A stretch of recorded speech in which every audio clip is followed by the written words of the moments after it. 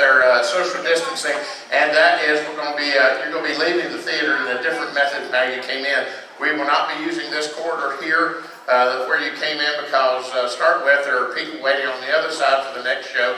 Plus, everybody gets jammed in there a little bit too close together, and we don't want that. So we're going to be using these exit doors on either side of the theater. We're going to ask everybody to put your masks on and uh, observe.